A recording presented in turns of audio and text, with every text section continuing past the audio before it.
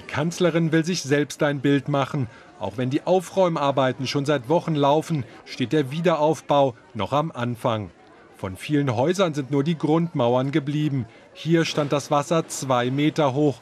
Allein in Fischbeck müssen Millionen investiert werden. Die Not in der gesamten Region ist sehr groß, wenn man sich das hier ansieht. Also die Landwirtschaft ist vollkommen zusammengebrochen, gewerbliche Betriebe zusammengebrochen und dann das Leid und Elend, was man hier in der Bevölkerung sieht. Anfang Juni ging Fischbeck in den Fluten unter. Ein Elbdeich war gebrochen, ausrangierte Schiffe wurden gesprengt, das Loch so einigermaßen geschlossen.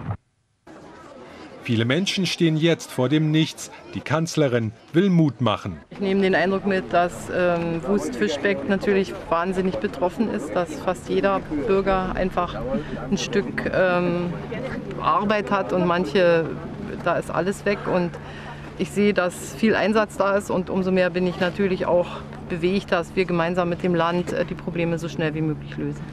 Für den Neustart ist viel Geld nötig. Die ersten Summen aus dem 8 Milliarden Euro Hilfsfonds sollen im August in die zerstörten Gebiete gehen. Dann soll der Wiederaufbau richtig losgehen, auch in Fischbeck.